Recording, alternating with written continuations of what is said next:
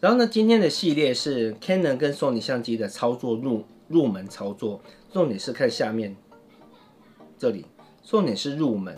入门，哎这边，重点方向老老是颠倒，重点是入门，重点是入门操作。因为为什么会想开这个教学直播的原因，其实很简单，因为我自己在外面在带团带。不论是代课也好，带团也好，我发现我会有一半的时间都是在帮大家解决相机操作的问题，我会有一半的时间在解决这个问题，反而不是解决摄影的问题。那解决什么问题呢？比如说，比如说，就有人会说，老师，我的这个东西怎么转转不会动呢？那我就看一下，哦，那是因为你是这台相机怎么样怎么样怎样，所以你转这个不会动。哎，老师，老师，那个符号一直在闪是什么意思？然后呢，说实在话的，我也不知道是什么意思，因为不是每台相机我都知道。然后呢，我发现我在外拍或我带外拍，或者是上课的时候，我会花很多，会有一半的时间在处理相机操作的问题。所以说，学会相机操作，我觉得是很重要。可是呢，学会相机操作，要把相机所有的东西都学完，你才会摄影吗？其实我觉得不是，而。我觉得相机的操作跟你的对于摄影的观念，你要两个要一起结合，你出去外面拍才会比较快，或者是比较顺。所以说今天的主题是入门操作，然后我会有两台相机，一台是 Canon 的，一台是 Sony 的。啊，至于为什么没有你控的原因很简单，因为我手边没有你控相机。然后今天也不会讲太多。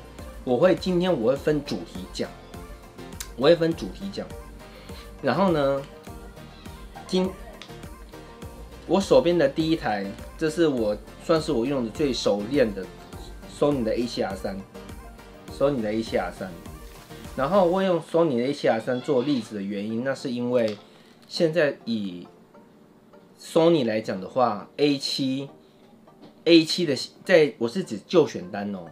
不论是就选单来 A 七来讲也好，或 A 六千系列来讲也好也好，其实它的那个操作界面没有差太多。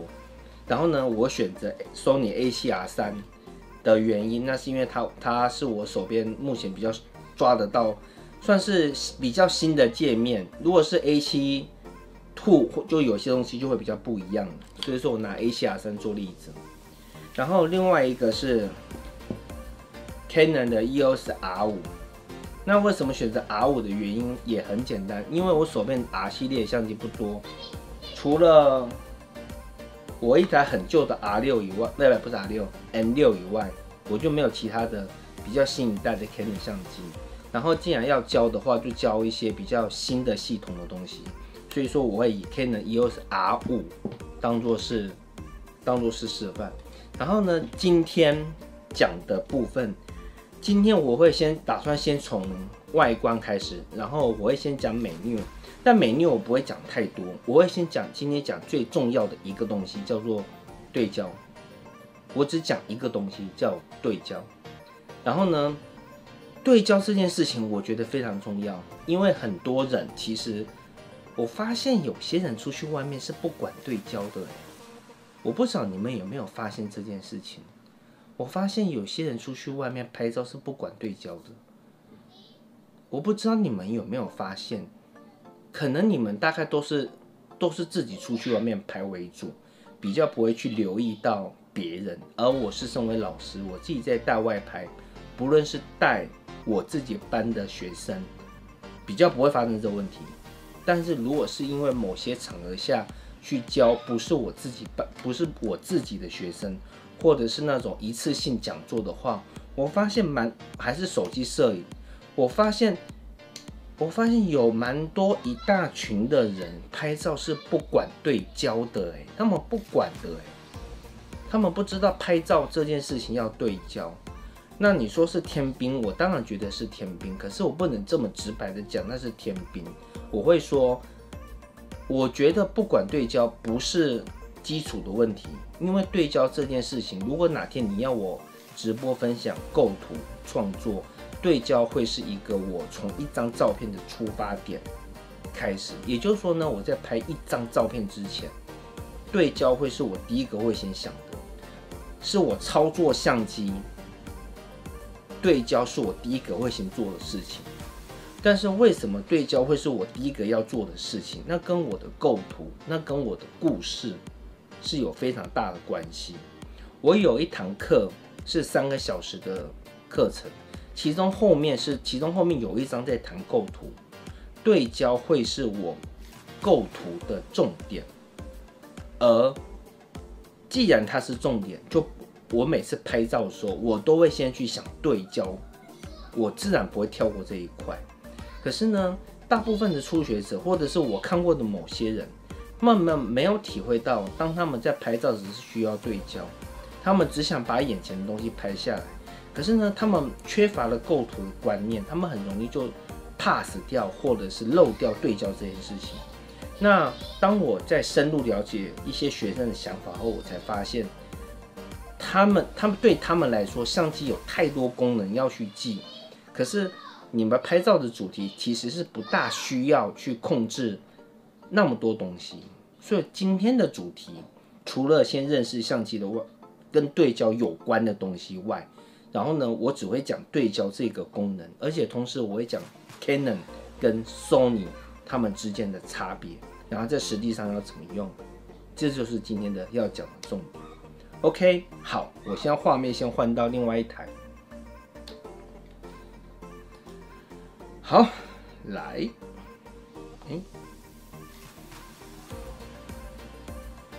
好来，好，我把这个再调一下，调后推点，哎，这个距离，这个距离很好。好来，首先你们看到这一个是我的 Sony 的 A7R3。那我自己在操作这台相机的时候呢，对焦的话，对焦的话，呃，这个可能要搭配一下画面。不过呢，没有关系，我们先简简单介绍一下它的外观。这台相机的对焦，实际上只以这台相机来讲，要操作对焦，最重要的功能是触碰。如果你的相机有触碰功能的话，如果你的相机有触碰功能的话，你直接点，它就直接对焦。可是呢，Sony A7R3，如果大家参加我的社团，或者是认识我比较多一点的日子，你们会发现我一直我很在意这个按键。我把它转近一点，我把光。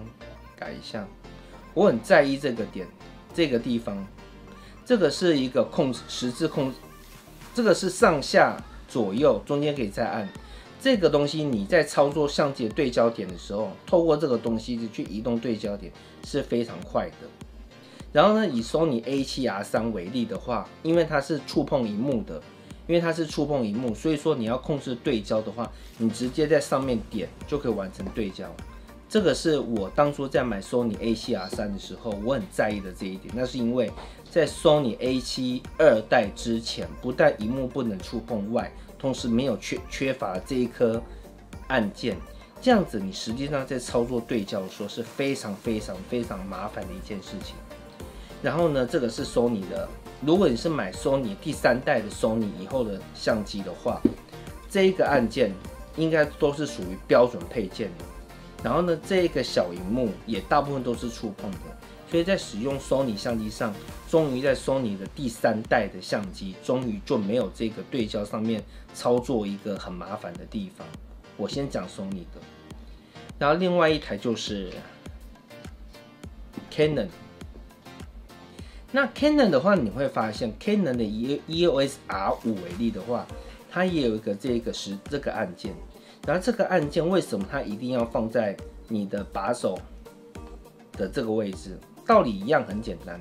那你在移动对焦点的时候，你可以透过你的大拇指直接去移动它的对焦点。然后呢，这个对焦点可以移动移动你的对移透过这个摇杆，我称之为叫做蘑菇头，透过这个蘑菇头来移动对焦点。那当然，所以以 Canon EOS R5 为例的话，你当然可以透过直接用点的方式来完成对焦，这个没有问题。所以说，当我们在拍照的时候，你要移动对焦点的话，你可以用你的大拇指去移动，或者是直接用你的左手直接这边去点，或者是像这个荧幕是侧翻，我把画面拉的大一点。因为我自己在拍照的时候呢，我会我会做这件事情。我的对焦的方式，我会用我的左手大拇指去对焦。这是为什么侧翻荧幕一个很方便的地方。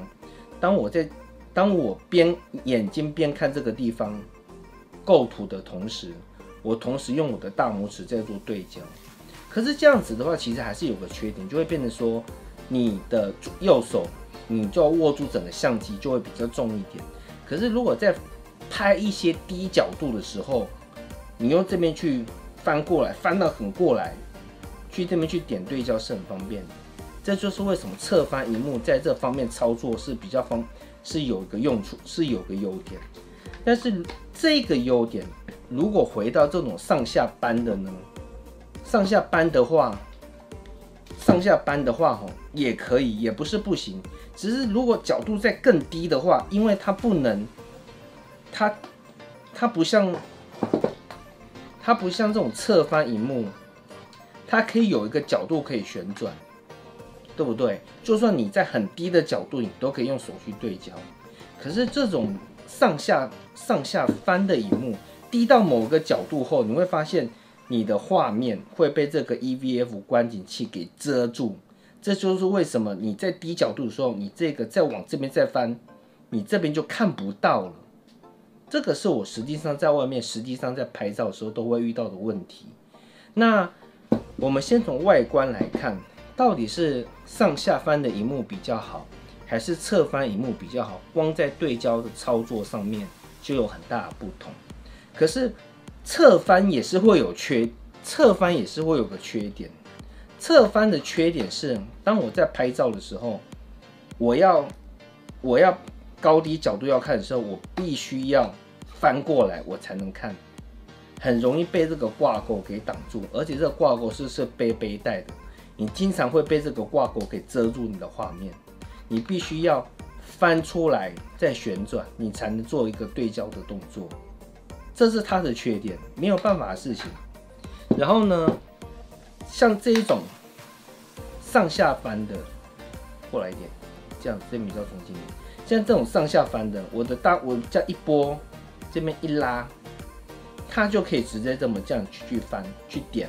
就不用说再翻过来再转过来就比较方便，所以说这两种荧这两种荧幕方式都有它的优缺点，所以说就会有人说，这不是我说的哦，这个不是我说的，是我是指有人说这种侧上下这种翻转的，不论是高角度这边看过去，或是低角度这样看过来都很方便，有人说这才是比较好的。基于这个理由，我同意不用特别再翻出来。然后有人说这样子的话，这样子也不麻烦啊，你只是翻过来而已啊。甚至这种侧翻荧幕还有个优点是直拍的时候，你直拍的时候，直幅构图很方便，直幅构图很方便，你要这边构图也很方便，这样点也很方便。但是如果你是这一种，你要怎么去看？这边的画面，你懂我意思吗？这就是这个上下翻的一幕，你在直幅构图很难看，很难正确精准的构图。如果这个角度能够再翻过来一下的话，那更好。那你说有没有这样子设计相机？有，Pentax K K One 就是这样子。然后如果我没记错的话，你控的 Z 九也可以达到在这样子的程度下，它可以。它可以再荧幕再往这边偏一下，这是两台相机在荧幕上设计上在对焦上面的差别。那为什么要先讲触碰对焦呢？因为我觉得触碰对焦是，其实我觉得啦，我觉得触碰对焦是要先讲的事情，因为触碰对焦不用焦，你只要用手指去点就可以了。只是呢，既然讲触碰对焦，我们就不得不先去讲这两种荧幕在实际上在拍照，你会遇到什么优点跟缺点？OK，好，外观上讲完了以后呢，接下来我们就要讲内装了。内装的话，我们就先讲 Sony 吧，因为 Sony 比较接近，在我的左手边。内装内部要怎么去设定，我们就先来讲 Sony 相机的。好，来，要怎样看到我的相机画面呢？这边有一条 HDMI 线，下次我要考虑给它换长一点。然后首先我先开机，并且把 HDMI 线接上来，OK。然后同时我再切换画面，你们有没有看到？你们目前就可以看得到我的相机的画面了。然后我把我的镜头拉拉长，我把我的白曝光补偿调高一点，OK。然后呢，为了要让大家看得更清楚一点，我把那个上面的面板给关掉，这样子大家看得比较清楚一点。在学习相学习相机对焦的时候，有两个东西很重要，要先搞清楚。以 Sony 相机来讲的话，先按住这颗按键。我先切过来这边。以 Sony 相机按键来讲的话，最重要的是这颗 FN。这一颗我把它拉近一点。以你操作 Sony 相机最重要的话是这颗 FN 按键。也就是说呢，不管你做拍照做任何事情，除了光圈、快门、感光度以外，最重要的按键就是这颗 FN。你要把很多最重要的功能都设定在这里。其实平时在拍照的时候，你不大有什么机会去按到美 u 我再说一遍，其实你出去外面拍照的时候，你不大有什么需求要进到美 u 去拍。以索尼相机是这个样子。然后呢，若是以 Canon 相机来讲的话，以 Canon 相机来讲的话，你最常最常要按到的按键其实就是 Q。一般来说，在拍照的时候，你不大有什么特别需求要进到美 u 去去选。那其实有的时候我都会很纳闷，拍照的时候基本上一整天拍照，我说一整天拍照哦，基本上我是不会进美 u 里面去按，基本上不会。因为为什么？因为你要拍照，你要用的选单基本上都在一天来讲，它是按 Q，然后以。Sony 来讲的话，它是 FN，所以你看，我光看按下 FN，下面这些东西就是我们拍照中最重要的东西。OK，好，所以说我们继续回到我们的 Sony 的画面。哎，这个线真的太短，下次要换长一点。然后呢，来再换到我的画面。嗯。好好来举这个例子，所以说呢，在设定上，在学相机的对焦，我们先学静，我们先学静态对，我们先学单次对焦。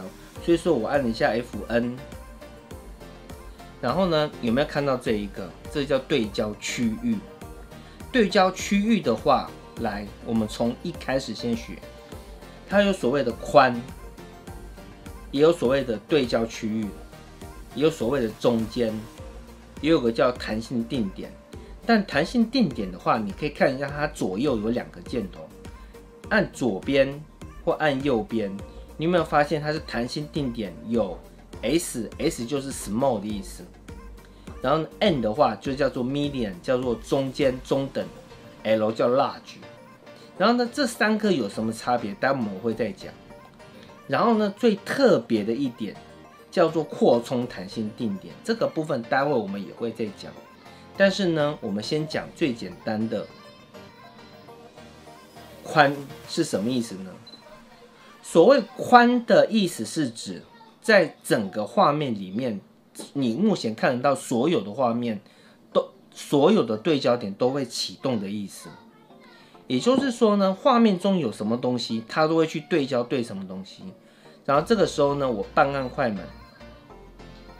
你有发现，就会显示这个小框框叫做相位对焦点，它就会去对准我们像画面中任何一样它认为可能的主角，而且你每次按它，每次出现点都不一样。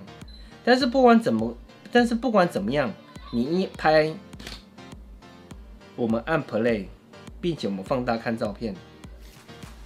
哎，我是不是快门太慢了？哦，对，四分之一，难怪。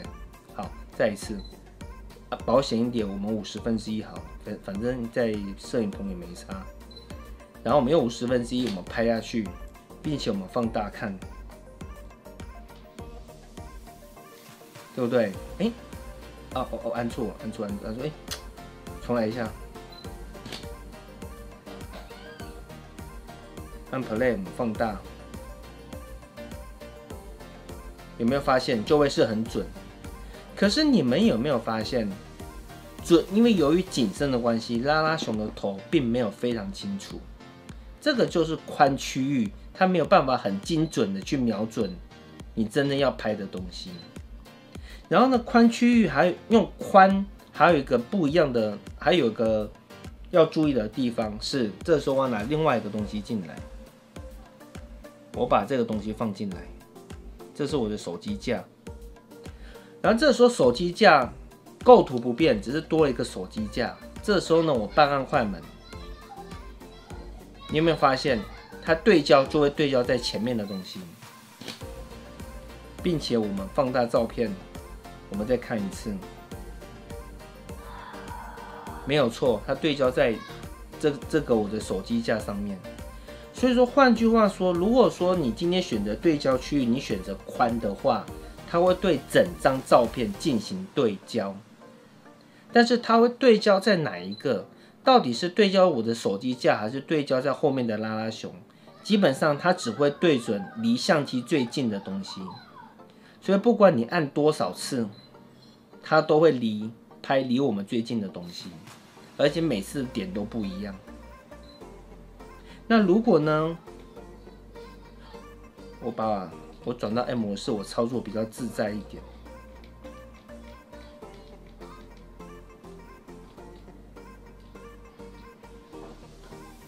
加一好，也就是说呢，你在宽在对焦区域，你选择宽的时候，它是对准整个画面进行对焦。只要说这个画面中有任何物体，它一定会是选择离你比较近的东西。可是这个时候呢，你就是想要拍后面的拉拉熊，这时候该怎么办？这个时候呢，你要把你的对焦区域从宽改成弹性定点。把宽改成弹性定点，所以说到底是用 S N L。如果我没有记错的话，开机预设值应该是 N。如果我没有记错的话，我们就先用 N。这时候你有没有发现就出现了一个框框？这个框框要怎么去控制呢？刚刚我们有说过，这个框框的控制是用是用这个点去控制。所以说，当你握着相机的时候，你要怎么去移动对焦点？透过移动这个框框上下左右，其实是用推的方式，不是用按的，用这个移动的方式来移动你的对焦点。好，这个时候呢，我们再回到我们相机的画面，一样维持相同的构图，差不多啦，差不多。这个时候呢，我移动我的摇杆，移动到这边，并且。半按快门，你有没有发现远处的拉拉熊就清楚了？不确定的话，我们放大看一下，对不对？就清楚了。然后呢，这个弹性对焦点还有个另外一个好处是说，你想要对哪边就对哪边，你想要对熊大的脸就对熊大的脸。然后我们放大看，你想对熊大的脸。就对熊大的脸，对不对？你们认真看一下，我不晓得你们的画面看得清楚不清楚。你有没有发现脸比手还清楚？你有没有发现脸比手还清楚？没有错，因为景深比较小的关系，脸会比较清楚。可是如果你希望手也要清楚呢？如果如果你希望手要清楚呢？这个时候呢，你就移动你的对焦点，移动到熊大的手上面。我们再按一下快门，然后我放大看，你有没有发现，还是脸比较清楚？我想要怎么放大？索尼相机要怎么放大呢？转这个吗？无法放大，已经是最大了。如果说我今天对焦在手，我们再拍一张，并且我们放大来看，你有没有发现，还是脸比手还清楚？但是我们明明已经把我们的对焦点，诶，我怎么改成点测光了呢？难怪我刚刚觉得怪怪的。好，可是呢，你有没有发现，我们拍了好几次，对准手，但是拍下去以后。你有没有发现，脸还是比手还清楚？这时候该怎么办？这个时候呢，这就是我们为什么要介绍，在弹在在对焦模式里面，这边为什么弹性定点会有个 M、S 跟 L？这是对焦点的精准度的大小。也就是说呢，为了为了要对焦更精准一点，于是呢，我把弹性定点我改成小。你没有发现这个点变得非常小？这个时候呢，我可以再更精准的瞄准熊大的手。我们再拍一张，并且放大看。你有没有发现手就比脸还要清楚？你有发现手就比脸还清楚？前一张呢？我们放大看。前一张你会发现熊大的眼睛比较清楚，但是这一张我们的对焦点是明明是放在手上面，可是呢，只要把我们的弹我们的对焦点从 N 转成 S 以后，并且很精准的把这个框框对焦在熊大的手上面，再拍一张，我们放大看，有没有发现？手就会比脸还清楚。OK，所以说呢，为什么我在教对焦的时候呢，以收你相机来讲，我会先教宽，同时我会先教弹性定点。那是因为这两个在构图上面是非常重要的两个构图方式。那如果说你今天都不去调整，你用宽。你用宽区域去拍，不论你怎么拍，它永远都是对前面的。就算你改变构图，你的构图再再拉近一点，你再改变构图，它永远都是拍前面的，它永远没办法拍后面的。那如果你想要弹性的拍后面的区域的话呢，这个时候呢，你就要弹性定点。这时候呢，我们一样回到 N。把这个对焦准心对到你想要对的地方，并且半按快门对下去，然后放大来看，你有没有发现后面的就会是清楚？可是如果我们再仔细看的话，你会发现由于景深很小的关系，拉拉熊前面的它是在泡温泉嘛，它前面的这个温泉的石头不够清楚。如果我们的重点是这个石头要清楚的话，你会发现说那个该怎么办呢？我们的框框，这时候框框已经对准拉拉熊以及前面的岩石，但是呢，如果我们希望只对准岩石的部分，这个时候呢，我们一样按 F N，我们把对焦点转转成 S，并且把这个对焦点精准的放在岩石上面。拍下去，让我们放大看，你有没有发现岩石就会很清楚，拉拉熊的脸就会不清楚。这个就是在 Sony 相机的对焦点上面，我们要先了解，宽是对整个画面进行对焦，而且永远对前面的，只是前面的哪里我们没办法判断，因为你你会发现每次你半按快门，画面出现都不一样。一会出现在手跟脸，到底是对手还是对脸？以我们刚刚的实验，对手跟对脸都会有一点点不一样。然后呢，这个时候你为了要精准一点对焦，你就改成弹性定点。其实弹性定点有 L、N 跟 S，有分大、中、小。如果你希望对的更精准的话，你的对焦点就可以选择小。如果说我想要精准的对准在熊大的耳朵上，我半按快门，很精准的对准在它耳朵上，按下去，我们并且放大来看，你有没有发现就会非常精，就会非常清楚，甚至他的眼睛都会是有点模糊的。如果我想要精准对准在熊大的鼻子上呢？这个时候我只要对在熊大的鼻子上，并且半按快门，拍下去，放大看，你会发现熊大的鼻子就会是最清楚，然后他的耳朵就没有像刚刚的那么清楚，对不对？这个就是 Sony 相机的弹性定点以及宽的差别。那接着我就接着讲。所谓的对焦区域，哦，对焦区域比较复杂一点。我们先从更简单的开始讲。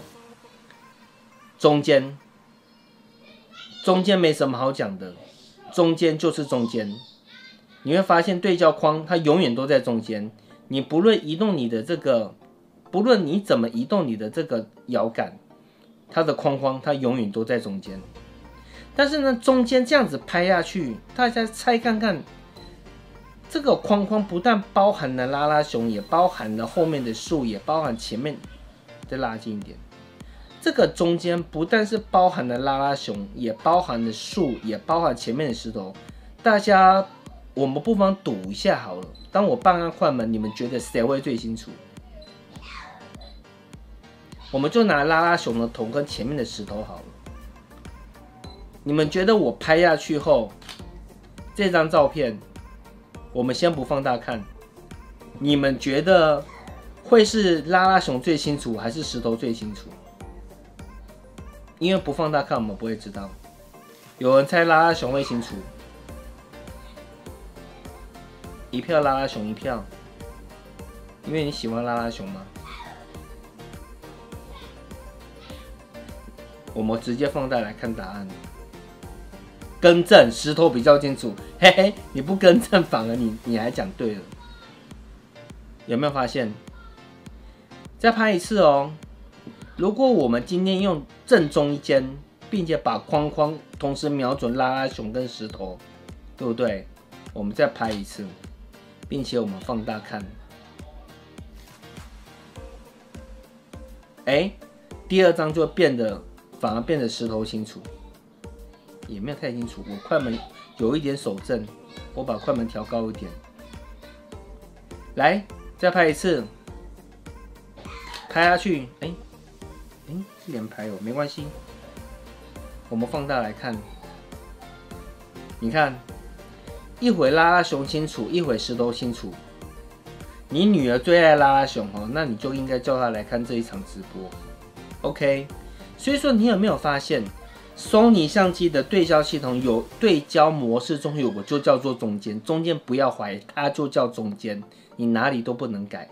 可是它中间也不能改大小啊！你看这个框就是这么大，如果我刻意的对准后面的树跟拉拉熊，用这个角度，我们再拍一张，不行，我把连拍关掉，等我一下。哎，我连拍，我把连拍关掉一下。哎，没有啊，好。没关系，我们放大看一下，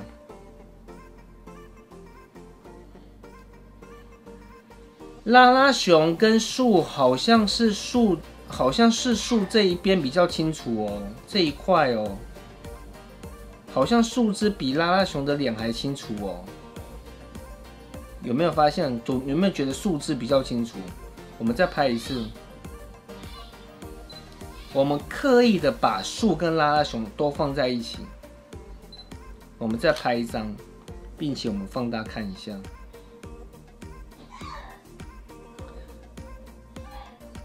你们觉得拉拉熊跟树哪跟树哪个比较清楚？你们自己觉得？好像都差不多哈，看起来都差不多。那是因为它们景深都还在景深范围内。所以说，我们就没有办法判断对焦点到底是对在左上角的树干，还是在拉拉熊上面。这就是索尼相机的中间老实说，我这辈子真的没什么机会用到中间，因为中间它并没有办法去改变对焦框的大小，也不能改变位置。但什么样的理由下一定要中间？老实说，我真的不知道。OK，既然讲完了这一个后，这个就好讲好解释，这就叫对焦区域。对焦区域，你有没有发现区域？我可以对焦左边、右边、右下、中，它好像分成六等份呢，九等份，一左一。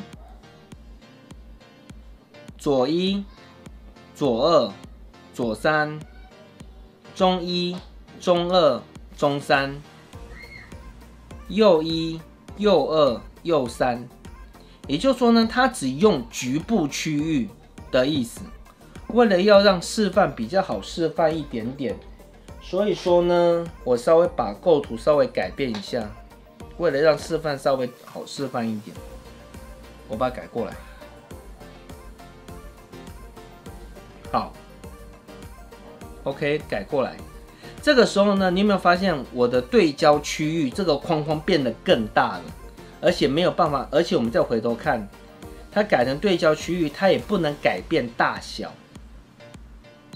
这个时候呢，它就会去对这个四个在这个对焦区域内可能出现的主角。你有没有发现，它只会去对？右下角的区域，可是如果我把这对焦区域往中间一移，半按快门，在我半按快门前，你们觉得我按下去会对熊大对焦，还是会对拉拉熊对焦？因为我还没有按，我不晓得。熊熊大一票。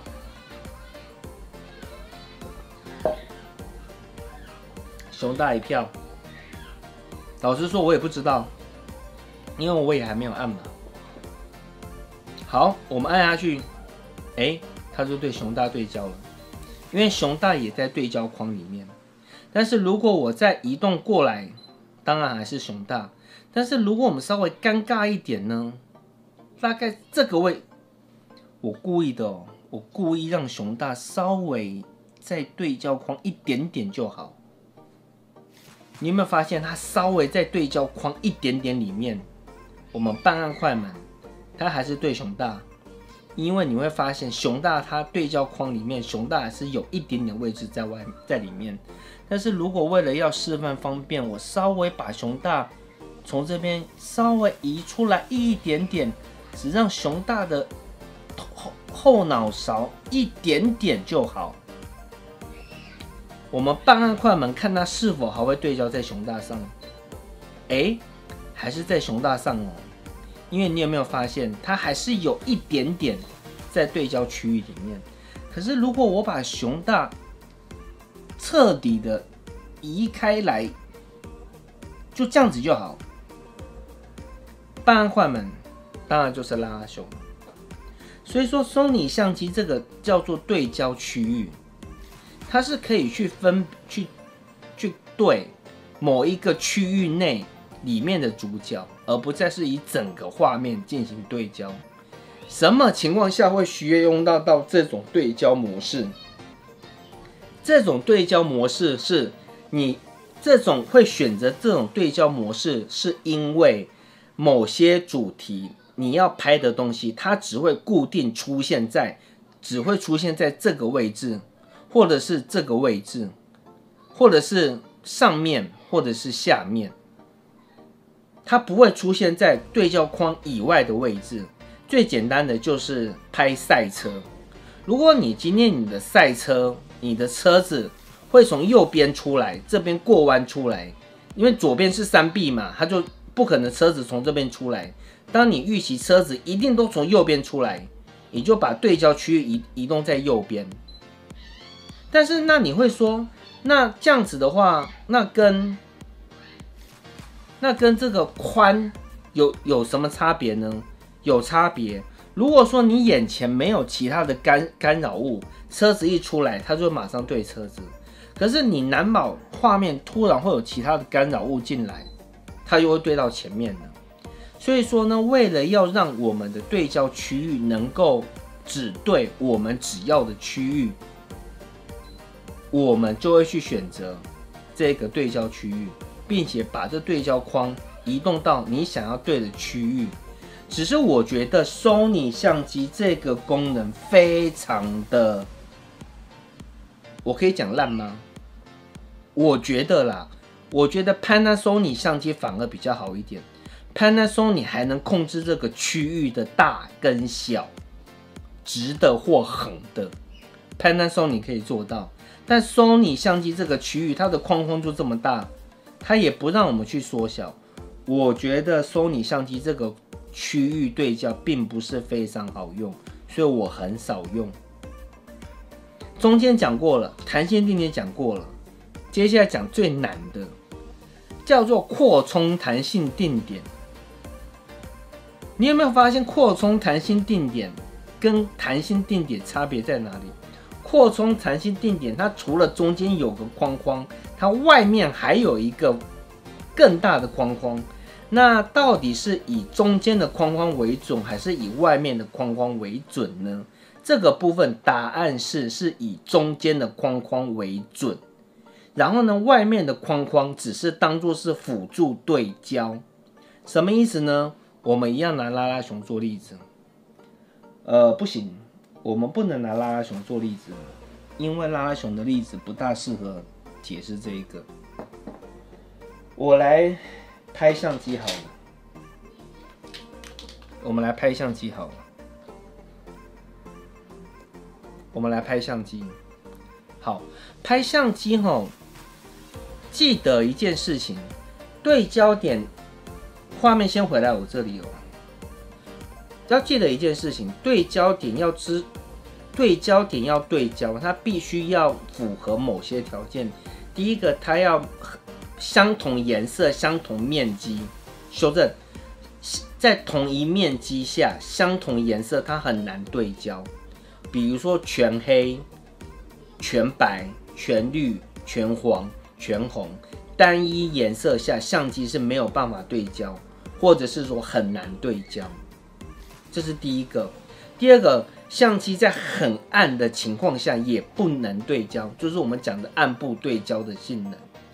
可是我们又为了要精准拍某些东西的时候，而那个东西偏偏又是黑色的时候，这个时候呢，我们要需要靠对焦点周围的资讯来帮助我们去拍。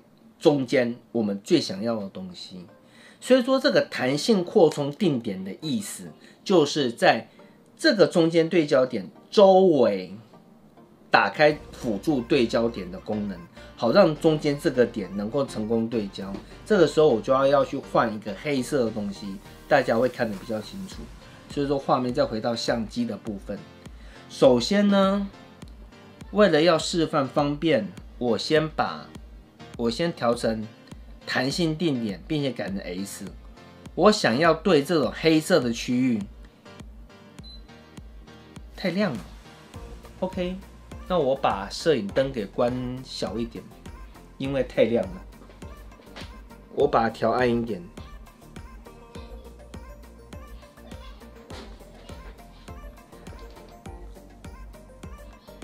你有没有发现开始对焦不清楚了？这种情况，我们称之为叫做拉风箱。所谓的拉风箱，就有点像是，虽然我也没，虽然我自我我我跟我跟大家老实讲，我也没有亲自看过风箱长什么样子，但是呢，只要是你对焦发生这种状况的时候，我们都会叫做拉风箱。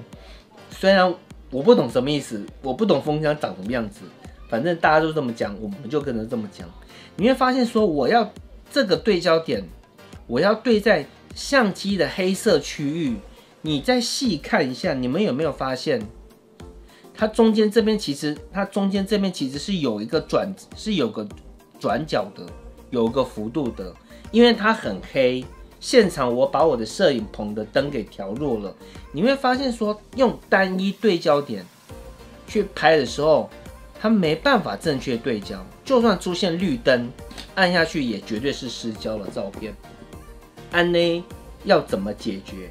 解决的方法很简单，我们只要把这个改成弹扩充弹性定点，按下去以后原地不变。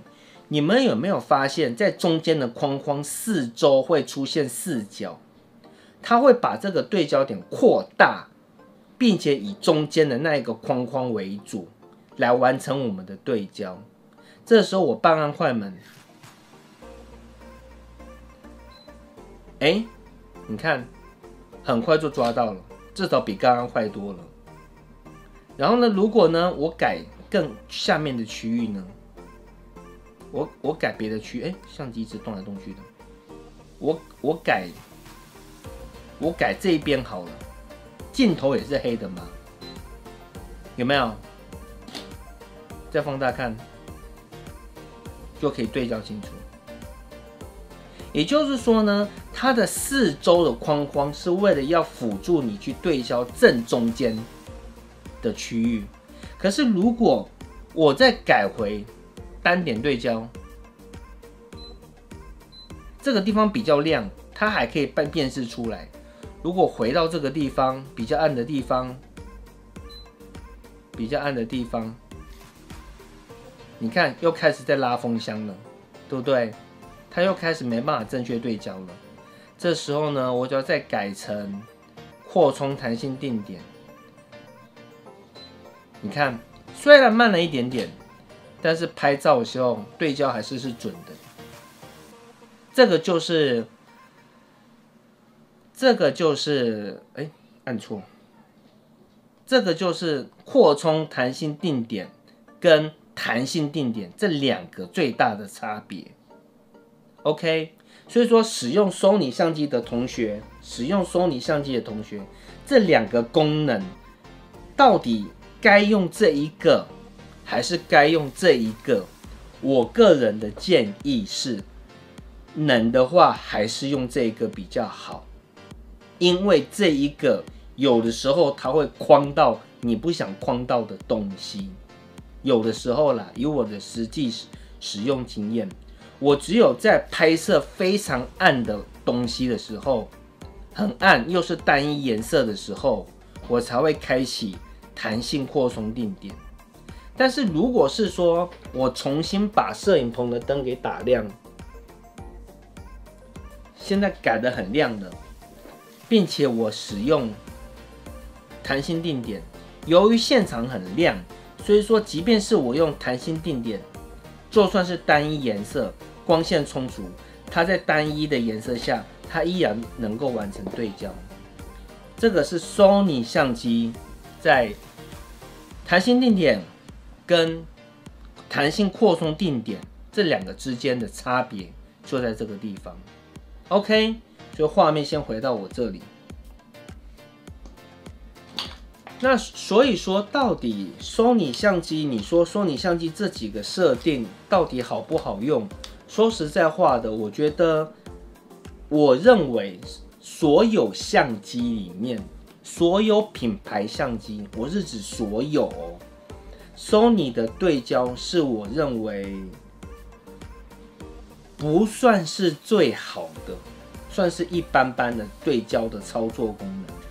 至少在跟其他的品牌相机比起来，我觉得 Sony 的对焦点的控制上并不是最好的。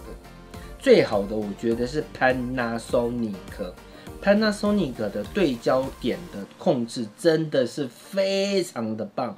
我只能用非常棒来形容，因为 Panasonic 的它的那个对焦区域，它可以变大也可以缩小，变大缩小，那一点真的真的非常棒，我必须讲。很可惜这个功能似乎是专利，还是什么样的原因，就 Panasonic 的相机才有，我在 Canon 上面，在 Sony 上面都看不到。但是我觉得你控好像也没有，谁可以帮我补充？你控可不可以控制那个那个叫什么区域对焦的对焦大小？谁有没有谁可以补充一下？区域哦，我是指区域对焦的对焦框的大小，而不是对焦点的大小。如果我没有认知错误的话，你控应该也不行，因为我不敢讲一定，那是因为我手边没有 Z 系列的相机，我手边没有 Z 系列的相机，所以我没有办法试给大家看。所以说，Sony 相机的介绍到这边，我到这边就到这边就结束了。至于说操作上的话，一样我再给大家复习一下，再进入到。在进入到 Canon 之前，我还是先回到操作相机的操作面上。以相机的这样子打，哎哎哎哎哎，为什么斜斜的？好来，以相机的操作面，我把它开机。大部分的我给它拉近一点给大家看，已已经最近了。好，好来。以相机的操作来讲，我先说，一整天下来没事不要按美 new，因为按进去其实你没有什么理由进去按其他的东西。我先讲，所以说以今天的第一回的相机操作，为了要让大家清楚了解，而且斩钉截铁，我只告诉大家，出去外面拍照的时候，这颗 F N 非常重要。按出来以后呢，你可以。在在里面选择对焦区域，它有今天已经介绍完了。所谓的宽是什么意思？对焦区域是什么意思？中间是什么意思？弹性定点有小、中、大以及扩充弹性定点。今天事先讲完这些，那它下面其实还有一个锁定 AF 扩充弹性定点又是什么意思？这个必须要在连续对焦的那一次主题下，我才能讲这个东西。所以说这个东西，你看，你你们认真看，我我接回来，我接回来相机看好，大家看会比较清楚一点。你们有没有发现这一个功能它是没有办法选的？那是因为我们目前在单次对焦，它是不让你操作的。可是如果我把它改成连续对焦呢？你会发现这个功能它就可以让我们去选，但是因为今天只教单次对焦，所以说这个功能我们等到连续对焦时我们再来讲。所以说没事的情况下，我是指没事的情况下，你该做的操作相机对焦点，没事的情况下操作相机的对焦点，你就是按 Fn 把这个功能去，你就是选这里面的东西。而我自己认为最好用的叫做弹性定点，而且我认为 L 是最难用的。没事的话，我基本上都用 N。如果要拍很具体、很精细，或者是所谓的微距摄影的时候，你铁定是用 S，甚至搞不好都要用到手动对焦。手动对焦会是另外一个主主题来讲的。今天最重要的只讲这个部分。至于说点进来以后呢，你要怎么样去控制对焦点？你就只有控用用这一个大拇指控制这一个，我称之为叫做蘑菇头。我拉拉上来一点。你只要透过这个蘑菇蘑菇头去移动，太小，大家反而看不到。透过这个蘑菇头来改变你今天要对对焦的焦点。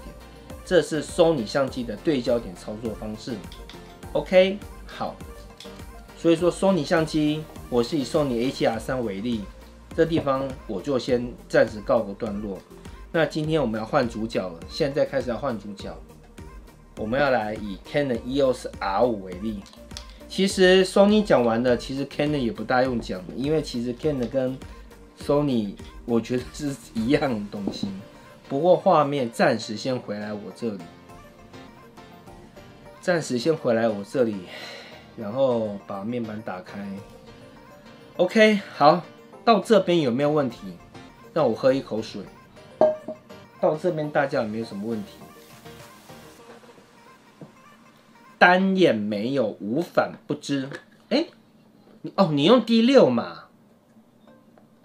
我觉得没有啦，我个人觉得没有，因为在我有仅有很少的使用的接触的情况下，我去操作尼控的 Z 系列的相机，我是没看到有，我是没看到有啦，但我相信是应该没有，所以说，我手边没有尼控相机，没有办法帮大家确认，也没办法教大家。那如果有机会，我有一台尼控 Z 系列可以借得到的话，或哪天我真的中了发票超过十万元以上，我再买再买一台 Z 七 Two，哎，十万块也买不起 Z T Two 加镜头，我再试给大家看。大家有没有什么问题？在进入到 Canon 之前，Z 九还没买，你会买吗？我觉得你会买，哎，你有没有去预购？我觉得你会买，Z 九连我都想买了，只是 十五十六万五，虽然虽然不贵啦，可是我没有十六万五可以买。你会不会买 Z 九啊？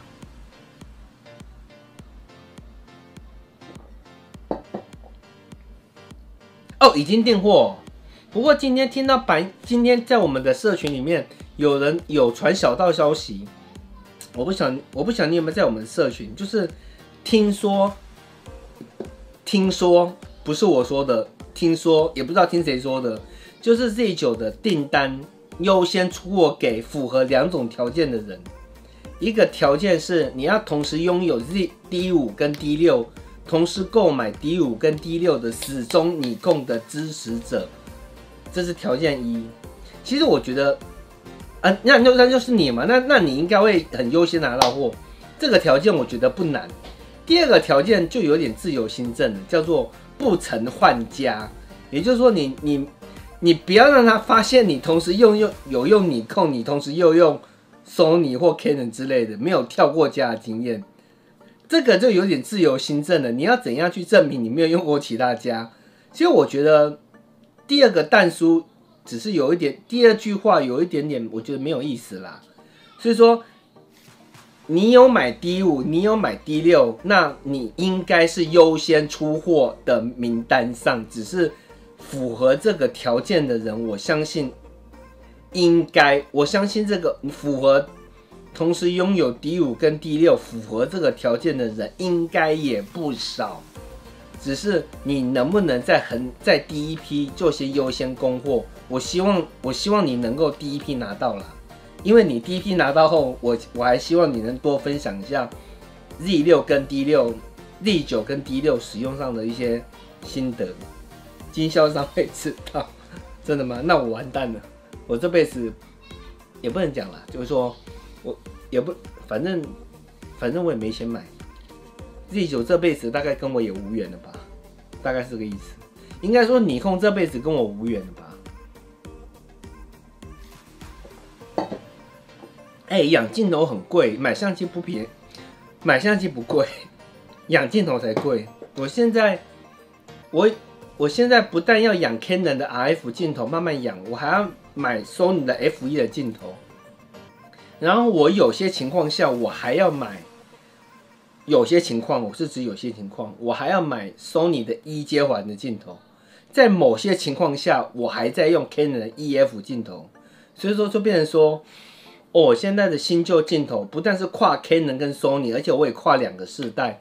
我现在镜头真的是一团组合起来一团乱就对了，这也是这也是一个麻烦的事情。不过我未来会慢慢，未来我我觉得啦，以长远来看，我是以长远来看，我觉得 Sony 跟你控说说的对我自己长远来看，Canon 跟 Sony 我长远来看我都会一起用，因为。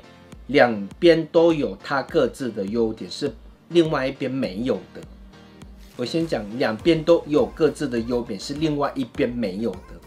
Canon 就是没有 Sony A7S 系列，至少现在没有。可是 Canon 有五千万画素的 R 五，可以做到每秒三十张连拍。Sony 有没有？有，可是它是 A one，A one 一台又那么贵，那又是另外一回事了。OK，好。既然大家没有问题，我们就把握时间，是我用三十分钟的时间把 Canon 讲完。因为其实 Canon 跟 Sony 的对焦系统基本上，我觉得大同小异，基本上没有什么不一样，只是有些有些解释上会有一点点的不一样。所以说我自己出门同时带 Canon 跟尼控相机，说的为什么今天老是讲尼控？我出门带 Sony 跟 Canon 相机，我使用上都没有什么衔接上的问题，因为他们的内容基本上八十七趴相同，我只要把十三趴讲完就好。但是我还是会 run 一次给大家看，所以说我们就回到我们的 Canon 相机，然后视线再回视线再换回我们的相机上，并且我把面板关掉，这样大家才看得清楚。好，来。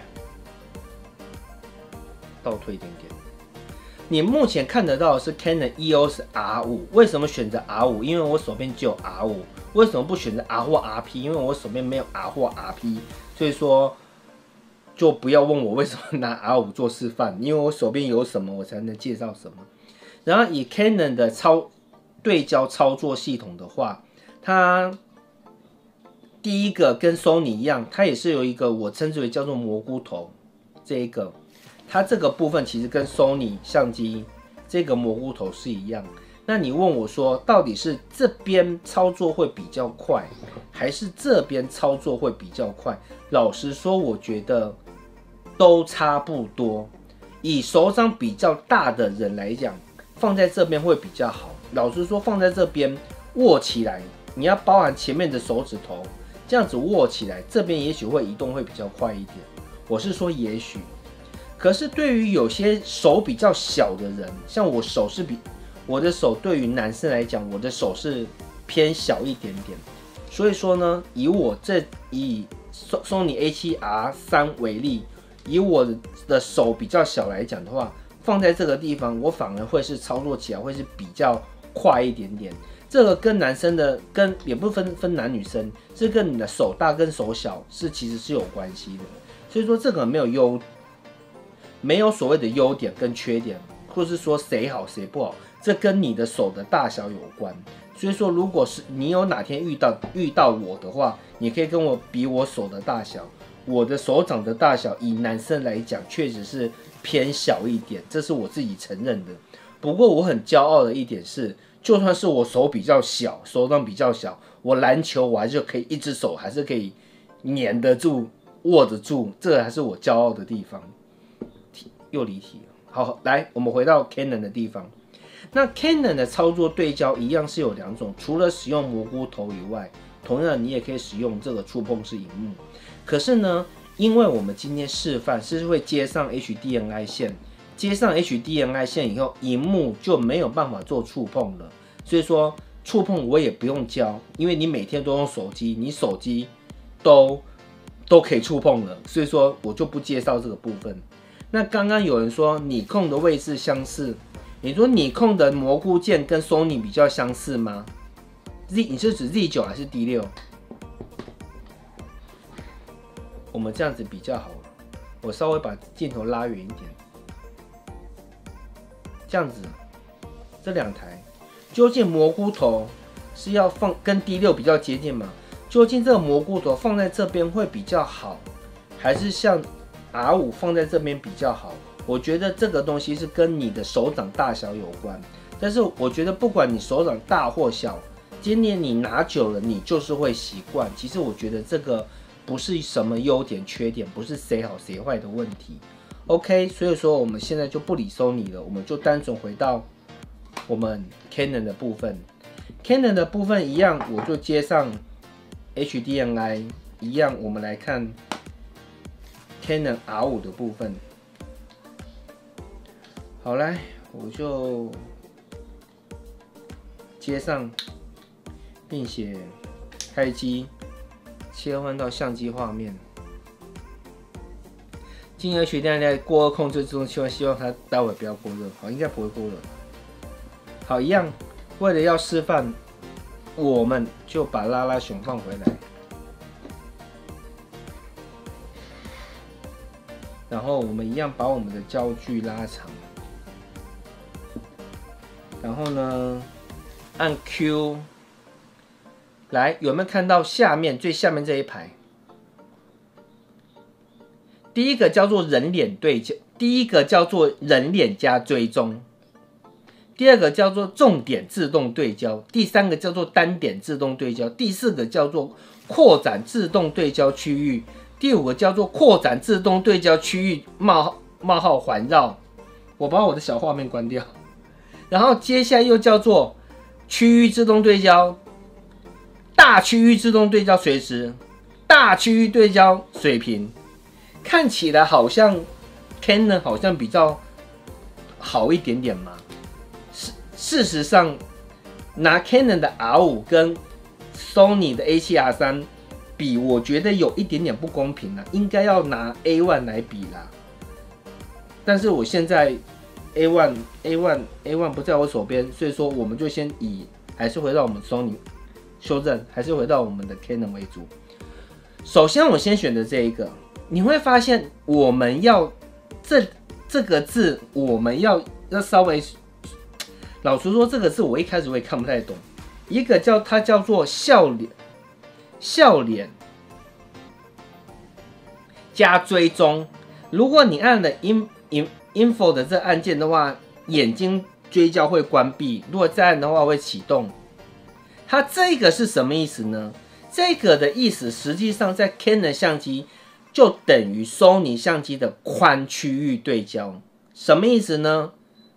来，我们把来，如果画面只有拉拉熊，我们半按快门。诶，修正一下，我是不是哦？难怪。好，重来。我们半按快门，你有没有发现，它每次对焦都不一样，跟刚刚的 Sony 是不是很像？对不对？跟刚刚的 Sony 很像，它画面有什么，它就去对什么。也就是说，它跟 Sony 一样，都叫做全，我称之为叫做全区域对焦。画面上有什么东西，它就对什么。可是呢，如果今天我们把熊大放进来，我们半按快门，它就对准熊。哎，我竟然按到连拍了，要命了！大家等我一下，修蛋呢，按到连拍了。好，回回来。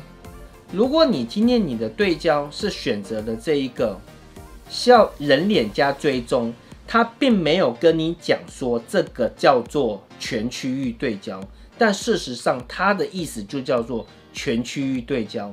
它的原理跟 Sony 相机的宽区域对焦是一样的，只要是有东西在前面，它就会去对前面的东西。而且你看我我按了好几次。它一直都是对准在熊大的手上面，不像是刚刚的 Sony，一会在熊大的手，一会在熊大的脸。所以说，我们按一下快门，看看是不是真的对焦在手上面。然后我们按一下 Play，并且我们放大看，放大怎么放大？放大，哦，对，这里。来，你看放大，你有没有发现它对焦在手？熊大手上面脸还不够清楚哦，代表说我这边在按的时候，它的对焦点出现在熊大的手上面，它就真的对准在熊大的手上面。在刚刚我们在拍 Sony A7 R3 的时候，你们有没有发现，它有的时候明明对准在熊大的手上面，但它实际上是熊大的脸是清楚的。从这一点来讲的话。Canon R 五的对焦性、对焦的正确精、正确跟精准度比 A 七 R 三来得好。从这一点来讲的话，你看，毕竟是手离我们比较近一点点，对不对？所以说，我们再拍一次，一样，我们再放大来看，你看他的手就是比较清楚，脸就没有那么清楚。可是同样的，如果我们今天想要精准对焦，精准对焦的时候，这个时候呢，我们就要把对焦点移到这个，or 这个。为什么是这个，or 这个？这两个有点差别。一般来说，我是会建议选择这个会比较就好了。我们就先选择这一个。你有没有发现它就出现了一个点，一个点，对不对？你想要对哪边就对哪边，你想对远处的拉拉熊没有问题，我就移动到拉拉熊这里。我们办案快门，哎，有人加入了，我让他进来一下。办案快门，这样拉拉熊就清楚了。可是呢，放办案快门，你有没有看到对焦区域的部分？它同时对准在拉拉熊跟拉拉熊前面的石头，它到底是对准在拉拉熊，还是对准在拉拉熊前面的石头？老实说，我们不知道。所以说，为了要实验一下，我改变一下构图，并且刻意的让对焦点同时对准拉拉熊跟前它前面的石头。我们办案快门，我们直接拍一张，并且我们放大来看。结果证明，它对焦在拉拉熊前面的石头上。你有没有发现拉拉熊的脸是比较模糊一点，对不对？比较模糊一点点。但是如果我想要把这框框缩小，有没有办法？以 Canon 相机来说，老实说，这一点就是我觉得 Canon 相机这方面没有 Sony 相机来的弹性，因为它的单点对焦并没有像 Sony 相机一样可以控制大小。可是，如果你要很精准的话，我不确定 R 五跟我之前的五 D 系列有没有一样，所以说，请容我试一下。我想要精准一点的话，我就移动到这一个，这个叫做重，我很讨厌它这种重点自动对焦。你看它的框框变得更小了，这时候我就可以很精准的瞄准拉拉熊的脸。按下去，然后我们 play 放大，你看拉拉熊的脸就清楚了。所以说这个部分我必须讲，这个部分跟过去的五 D 系列比较不一样。过去的 Canon 的五 D 系列两个两个长得都一样，我是说一样是指按出来后长得都一样，只是呢过去的五 D 系列。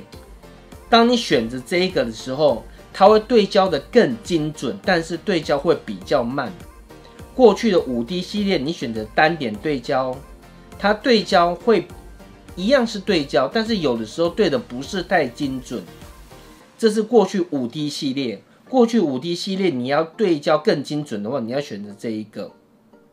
但是在 Canon EOS R 上面，由于对焦点多，而且比较细。也就是说呢，它选择的重点自动对焦后，它的对焦点变得更小。我想对准拉拉熊，我就对准拉拉熊，并且我们放大看，放大看，你有没有发现脸就清楚？如果说今天我的对焦框我移动到前面的石头，八块门拍下去，并且我们放大看，你有发现石头就清楚，拉拉熊就会模糊。但是如果我们再极端一点，我们想对熊大的耳朵，哎，已经到边了，我过来一点点，我对准熊大的耳朵就好，精准一点，按下去，然后我们再放大来看，有没有发现熊大的耳朵就清楚了？所以说，如果你是拿 Canon EOS R 系列的 R 系列的使用者，这一个叫做单，你就解释成这个叫做比较大的单点对焦。你看它的对焦点比较大，然后呢，这一个你把它解释成比较小的单点对焦，这样子可以理解了吧？很好理解，也只能这么理解了。OK，因为这一点过跟我过去使用。DSLR 的五 D 系列有一点不一样，所以说我这边是稍微稍微再从加强，呃，稍微再强调一下。接着我们来看这两个，这两个到底是差别在哪边？这个哈跟 Sony 相机的扩充弹性定点意思是一样的，只是呢。我刚刚说过，如果说今天你要拍画，如果你要拍很暗的东西，举个例子，像我们刚刚不是拍这个吗？刚刚我们不是拍这个吗？并且我把熊大拿开，然后呢，我现在我要做的事情是，我把我的摄影棚的灯给调弱，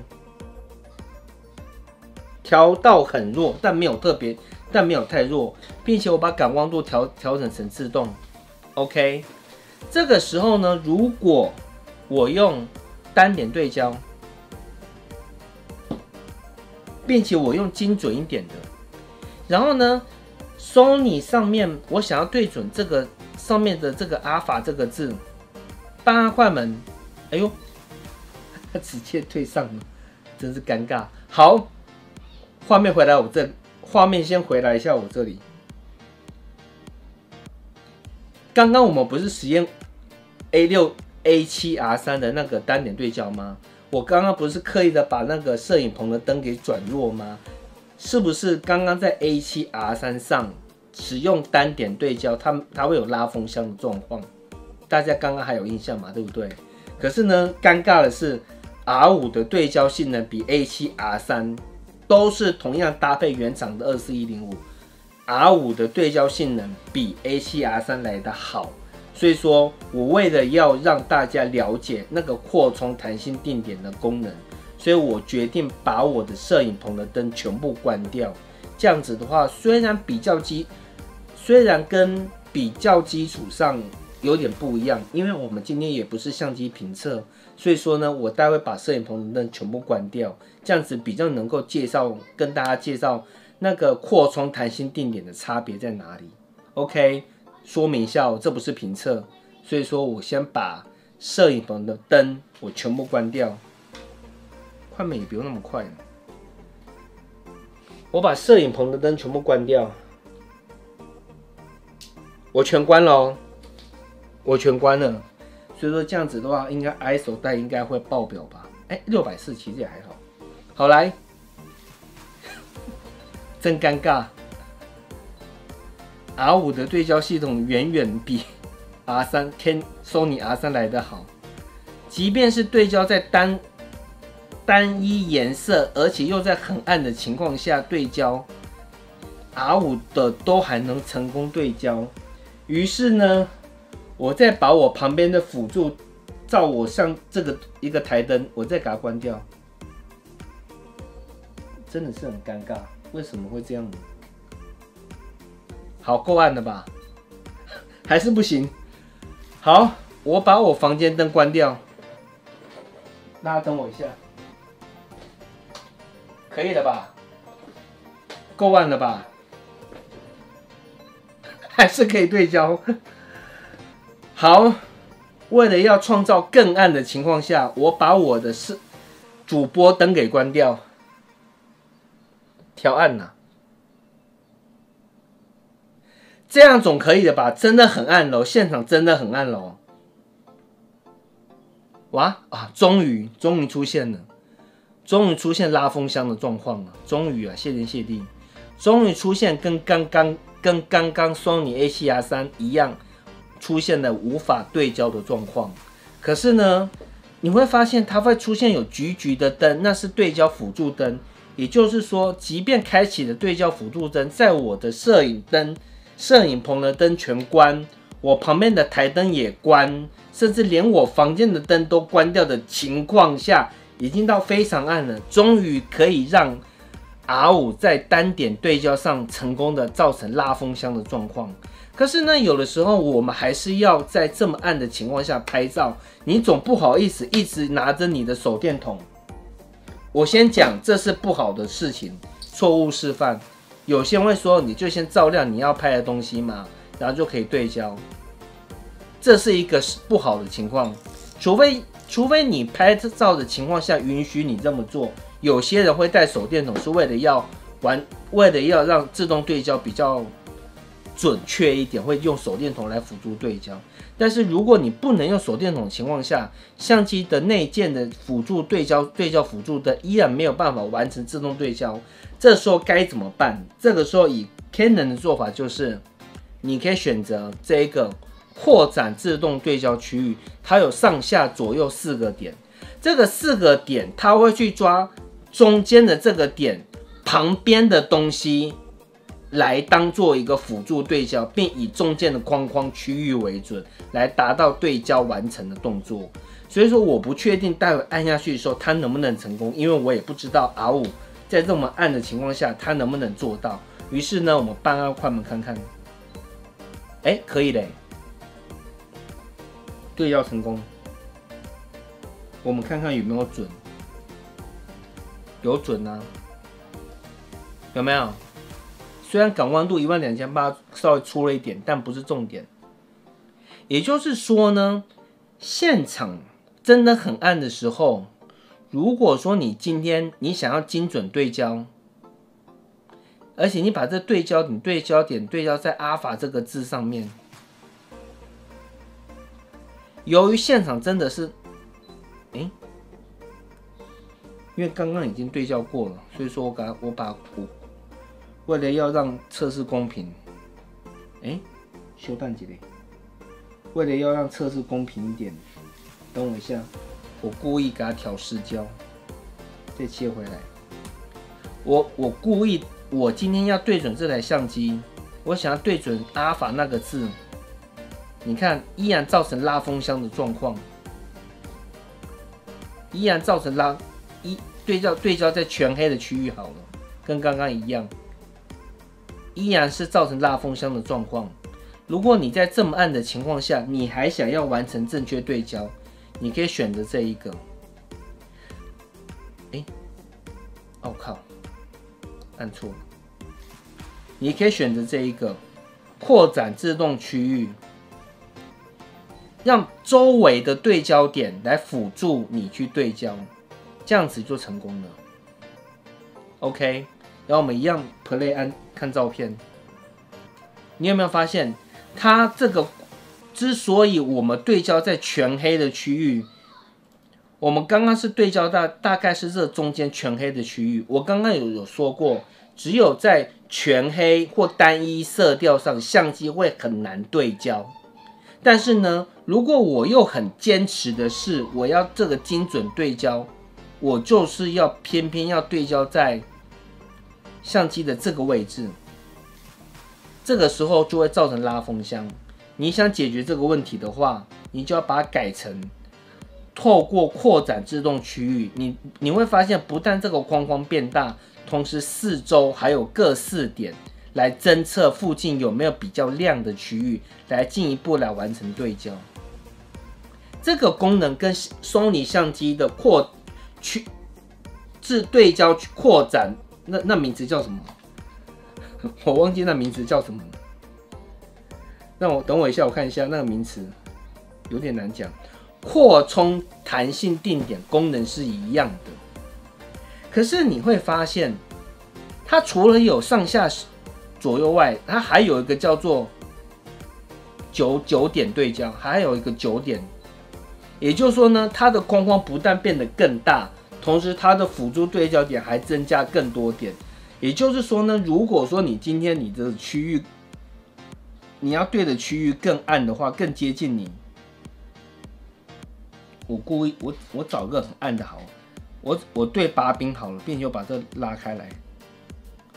我故意对一个全单色的把全单色的黑色把柄，你会发现一样成功对焦，对不对？但是如果我试着用这一个呢，自动单点，由于它刚刚已经记录了对焦对焦的资讯了，我故意手动对焦，然后我们再试一次，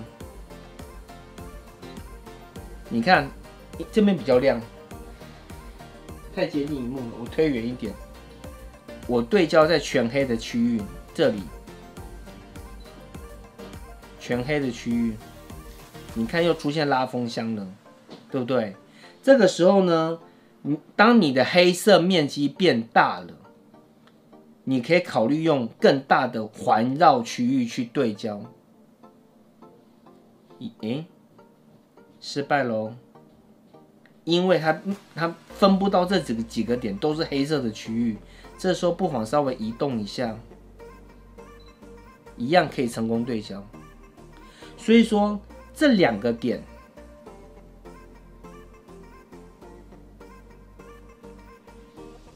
哎，我怎么老是按错？等一下，这一个跟这一个只是扩展区域的辅助对焦点的数量不一样。OK，这个不难解释。后面的就简单了，因为后面的东西其实不讲，你们也大概都知道。我把我小画面关掉。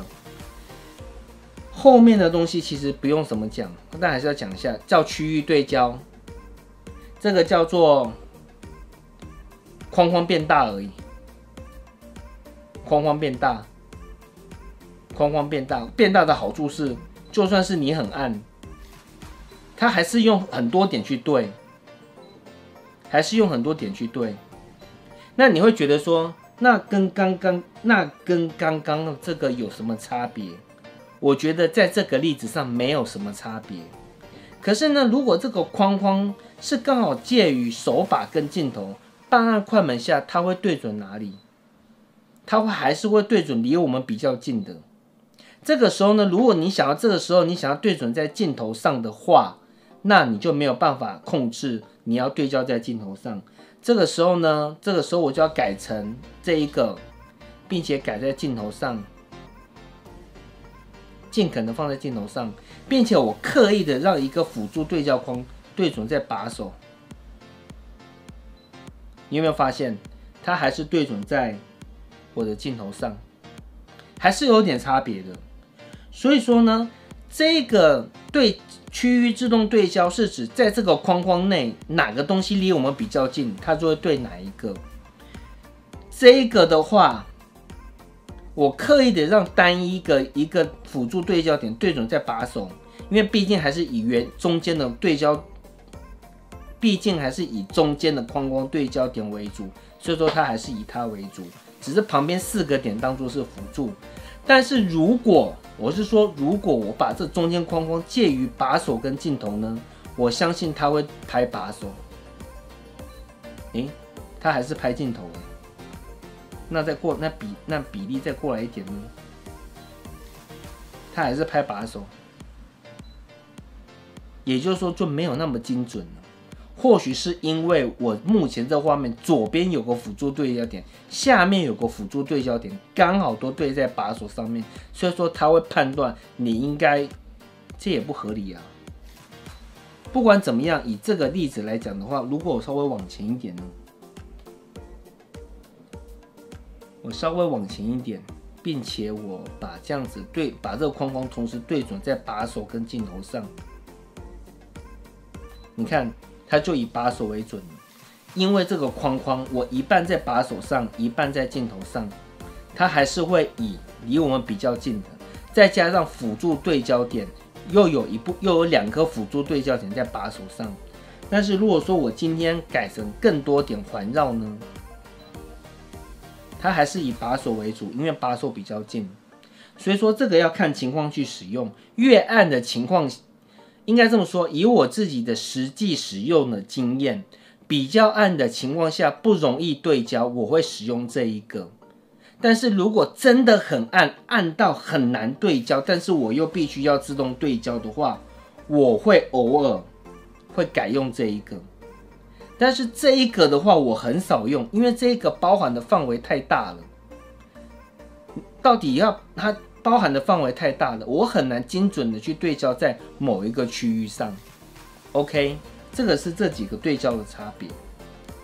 然后刚刚有一个朋友分享到，D 八五零暗部对焦真的是它的强项，没有拉风箱的状况，所以拍星空也是很准确对焦。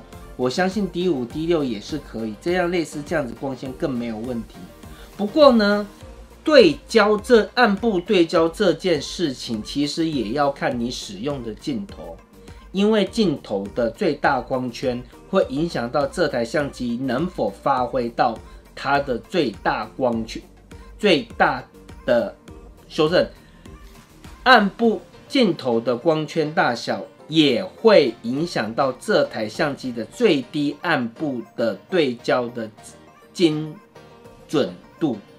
我一直都有听过 D 八五零或是 D 五 D 六来的，那个在暗部对焦上来的好，因为我没有用过你控，所以说我不敢说比较好，因为但是大家都这么说，我相信应该是比较好的。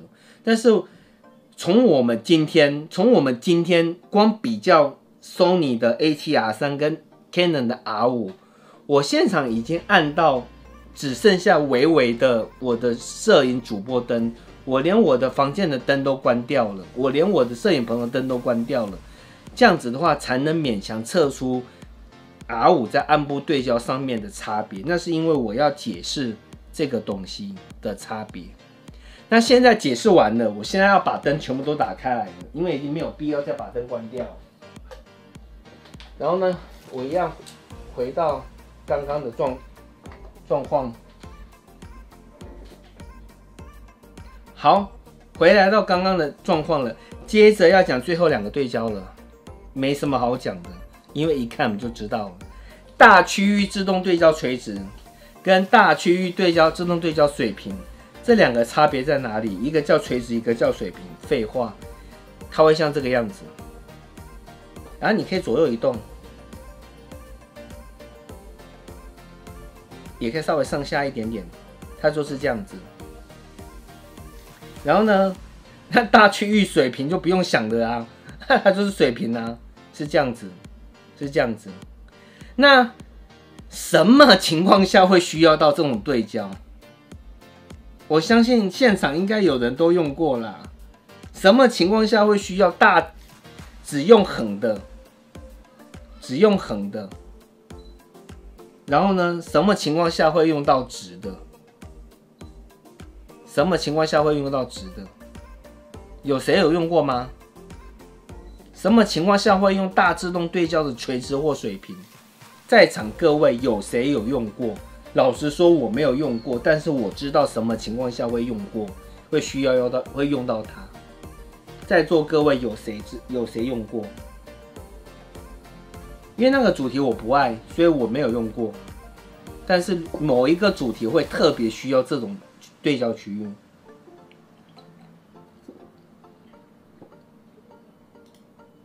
拍鸟，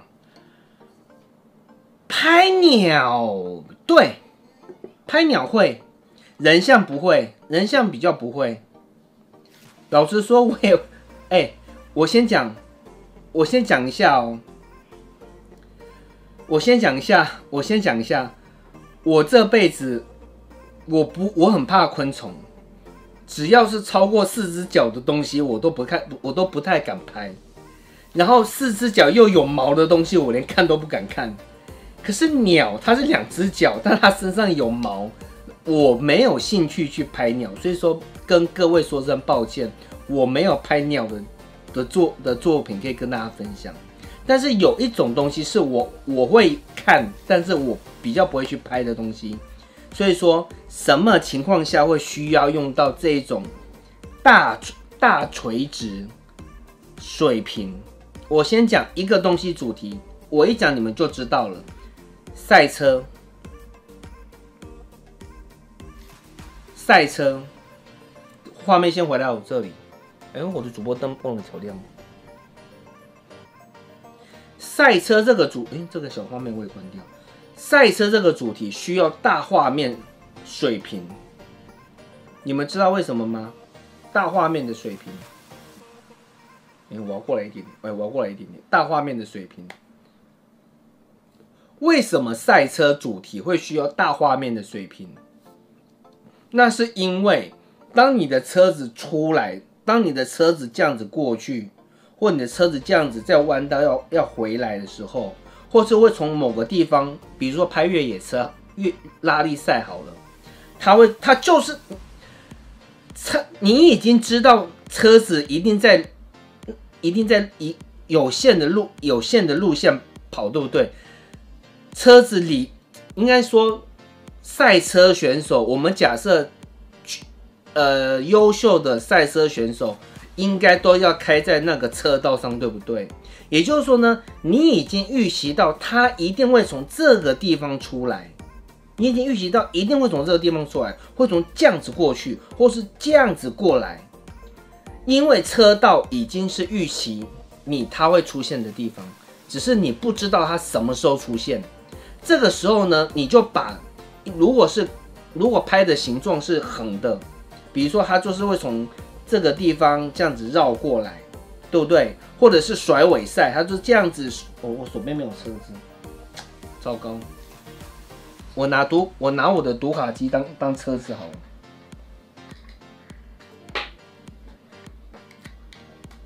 我拿我的读卡机当车子好了。那车子如果是像这样子，它是这样子甩尾出去，对不对？你已经感觉到它是这样子前进，然后甩尾。你可以感，你已经知道它的路径就是这个样子，横的。每台车子都是从这样子过去甩尾过去，每台车子都是这样子甩尾过去。如果它从这边甩出去了，那你就不用拍了，对不对？你已经很清楚它的车道是这样子，每台车子都是这样子过去，这样甩尾。这个时候呢，你就用这样子宽区域、大范围的宽区域就对了。它的原理是在这里。那什么时候用垂直呢？什么时候用垂直呢？有啊。当那种机车那种摩越野，呃，不能讲越野，那种机摩托车进那那个叫什么？摩托车特技表演，那个叫什么名词？我一时间忘记了。反正就是骑摩托车，它就是会从你眼前这样子咻这样子跳出来。花式摩托车就对，它就是咻往上，它就是上下，它就是上下跑，跑得越高，它就是上下。这时候你的对焦区域就是瞄准在。瞄准在上下这个区域，画面好，我的画面怎么那么小？它就是瞄准在上下这个区域，这样懂我意思吗？哦，障那个叫障碍赛吗？因为因为我我有我偶尔会看一下那种花式赛花式摩托车啦，但是我不晓得它叫什么名字。就是你已经预期了你拍摄的东西，它有一定的轨道，它就是出现在那个路线上，你已经预期得到了。但是呢，你为什么？那这时候你会想说，那我干脆就开全区域就对了。那为什么要特别去把这个区域打开，或者是把中间打开？为的理由是，当你把其他的对焦点有点像是关闭的状态下，相机在演在计算对焦的速度会比较快。我再说一遍，整个画面都是对焦点。相机的每个对焦点，相机相机的 CPU 都要去计算对焦。可是如果你把左边跟右边都关掉的话，相机它专注在中间，这样子它的计算速度会快很多，因为它不用去管其他的区域。这个时期在以前的 DSLR 其实就是哦，在以前的 DSLR 关掉，为什么会有局中间的只使用中间的对焦点？旁边的都关掉，那是因为它旁边不用计算，它只要花心力在中间就好。上下左右，以五 D 三来讲，以五 D 三的六十三点对焦，它是它是简单是中间一块，上下两块，左边左边右边各一块，你只使用中间这一块，上下左右都关掉。它在 CPU 的计算上，它只要更算中间就好，上下左右你都关掉嘛，代表你不要拍。它在计算上面就会省略掉，会比较快，是真的。这个我有感觉，虽然我没有实际上反复去测试，但是我有感觉到有比较快。这个是在 DSLR 时期是这个样子，但是到了一现在的 E EVIL 已经到一个跨越了一个新的相机的世代，同时呢，同时现在又加入了更多的多元的对焦，就像是 Sony 的 A7。哎，不对，Canon 的 R 三，它就有加了不止，以 Canon R 三为例，它就不只是拍人脸，拍人脸已经不稀奇了，不稀罕了。早在二十，哎哎，讲真的哎，人脸对焦系统早在十，早在二十十五六七年前就已经有人脸对焦系统，但是这不稀奇。现在是拍人脸不稀奇，然后判断你的左眼右眼也不稀奇。现在是说依情况去拍鸟，它只要在计算上鸟的形状，所以说它只要去那些几个对在计算上发现鸟头，你就把它打勾，它就会特别去侦测对鸟。可是你这个时候你要不要把人脸顺便打开？我倒觉得如果你要拍鸟的话，就不如把人脸关掉，这样子相机就不会去侦测人脸。减少它计算上的负担。在 Canon EOS R 三，它多了汽呃叫叫 Vehicle 车追焦，就是拍车子的模式。在 Canon EOS R 三，它有多这模式，而最而未来不久后 R 五跟 R 六好像也会有这个对焦的风味放下来给 R 五 R 六用。听说啦，我不知道，因为还没有确定。另外一点就是，在 Can Sony 的 N，在 Sony 的 A 七 N 四，哦，今天讲到有点头昏了。Sony 的 A 七 N 四，它也多了一个鸟拍鸟的追。拍鸟的对焦模式，我不知是我不确定我没有有没有记错，Sony 的 A7N 是多了一个拍鸟的模式，而不只是拍脸。那有些国外国内外的 YouTuber 或者是摄影师都有说，这是未来的一个 EVIL 会完全取代掉 DSLR 的其中的一个原因。要拍什么东西，他就把那东西的形状、颜色给。演算法放进对焦点里面，这个时候如果我今天单纯只拍鸟的话，我一定会把人脸对焦给关掉，因为在鸟的旁边不会有人，减少 CPU 的运算上的负担。这是从一个从比较从软体写作的程式演算法的角度去思考，我会这么去解释。但实际上会不会增加它的对焦速度？老实说，这个我不敢讲。但是合理可以去这么去推算，因为 CPU 要同时判断你眼前拍的是人还是鸟，它要同时去计算这两个东西，最后确定是鸟而不是人，它多少要花一点时间。如果有机会，我说如果我有机会遇得到 Canon 的 PM 或者是什么情工程师，我一定会。如果我有机会，虽然他们他们都不鸟我。如果我有机会遇得到的话，我一定会问这个关键的问题：是否拍鸟的时候，我把人脸对焦可以增加 CPU 在计算上人鸟的脸的速度上有没有帮助？我觉得是会有的。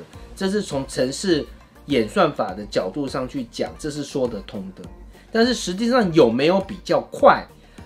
呃。我目前是没看到，也没特别去追，这是我自己的想象。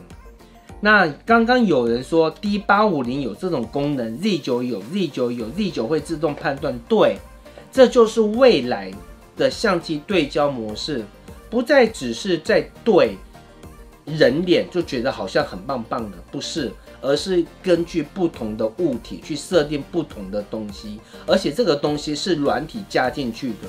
因为对焦点一旦多，分布的多，自然它在计抓上，在计算上跟捕捉上会比较快一点点。只是 Z 九现在被人家，我不是针对 Z 九，不是我说的哦，是我看过一篇在讨论 Z 九，说 Z 九的自动对焦点的数量跟分布比较少，也比较虚。会不会影响到这个判断？这个是国外有些 YouTuber 有讲到的，有讲不是 YouTuber 了，就是国外的英文报道有在讨英文的讨论上有讨论到一点是 Z 九相对于 A one 相对于 R 三来讲，Z 九的对焦点的数量跟分布的密度上，相较于 A one 跟 R 三比较少。会不会影响到它判断的速度上？这一点有待观察。因为 Z 九在规格上确实对焦点的数量比 A one 跟 R 三来的少，这是事实。但是是否你控的工程师在写这演算法上能不能更克服这个问题？我相信应该是有办法。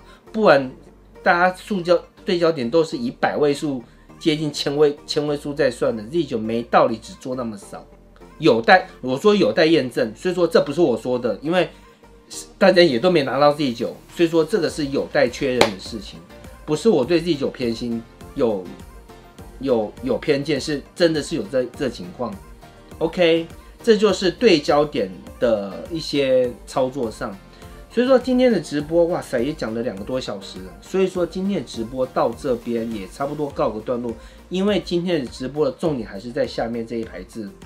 Canon 相机的入门操作，这是零一，有零一就会有零二，有零二就会有零三。我预计应该会讲到十回，应该没有问题。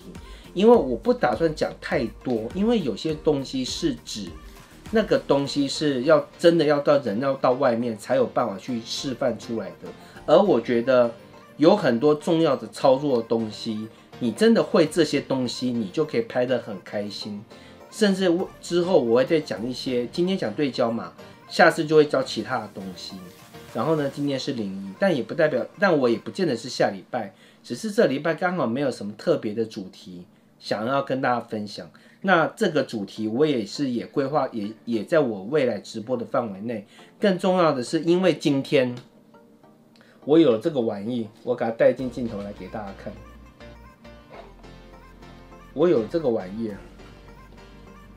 这个东西很棒哎，我到现在才知道这个东西。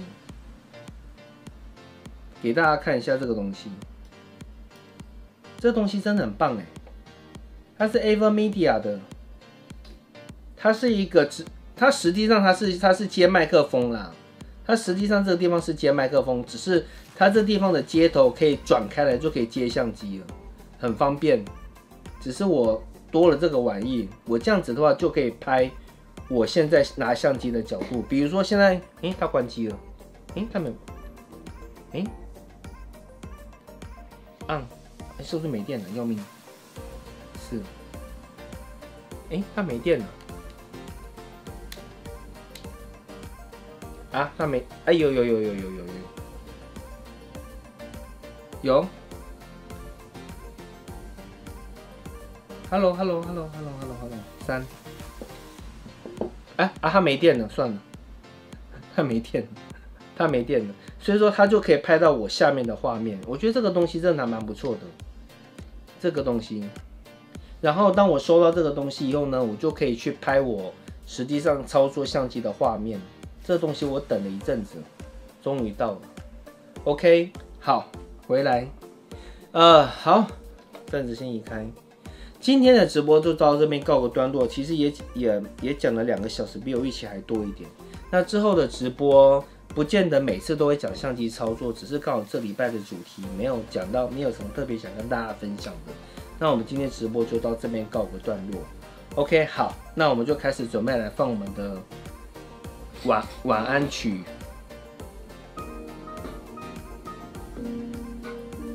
好，这就是我们招牌的广晚安曲。那今天的直播到这边告个段落，然后我会把今天的直播一样的，我会放到网络上给大家看，一样啦。那只有现场来现场参加的才有讨论跟互动的机会，看重播就感觉上比较孤单一点。今天直播到这边告个段落，然后同时今天我也证明了 R 五的对焦，R 五的对焦真的比。三年前的，三年前的，呃，不止三年，差不多三年前的阿三来的好，这个是今天比较出来的心得。啊，谢谢大家，晚安，可以下线了。今天直播到这边告一个段落。